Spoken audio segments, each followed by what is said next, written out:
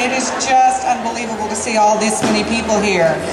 As all of you know, childhood cancer remains a very serious problem. It continues to be the number one cause of death due to disease in children.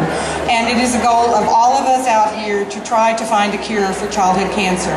I certainly want to thank all the family members here today, grandparents, siblings, uncles and aunts, everybody who's come out to support uh, the child and the family who's struggling with this disease.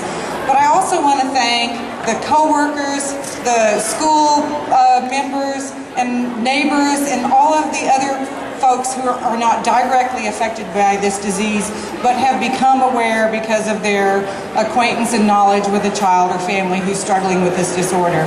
The support that you all bring to the families and to the organizations trying to fight this disease are, is, is just really immeasurable. And I also want to thank Chief Acevedo and Mayor Leffingwell for coming out and supporting this cause for our community. It's so important that we all keep our awareness about how important it is to deal with this disease and continue to do the fundraising that helps us to develop the research dollars which will allow us to find cures.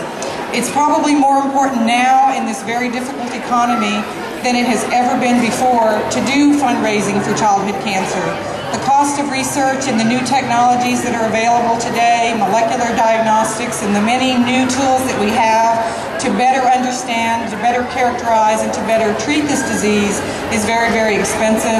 And to continue to make new strides, to learn new ways to more effectively treat this disease, to learn ways to prevent children from de developing this disease, and to learn ways to prevent children from having long-term side effects and devastating long-term toxicities from the treatment of this disease.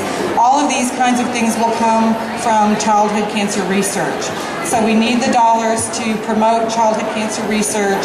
Uh, the Children's Oncology Group is the organization that was mentioned. All the dollars that are raised by CureSearch will go to support uh, the Children's Oncology Group and the research that's being done there. There are over 120 institutions across the United States and some in other countries as well who participate in the Children's Oncology Group. And there are many, many professionals working both uh, in the hospital level and in the research lab level to try to find new treatments and new cures for this disease.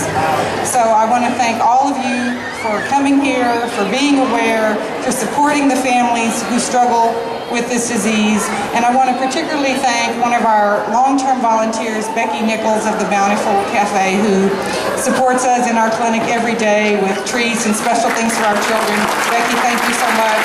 And thanks to all of you who are here. Let's find a way to cure this disease.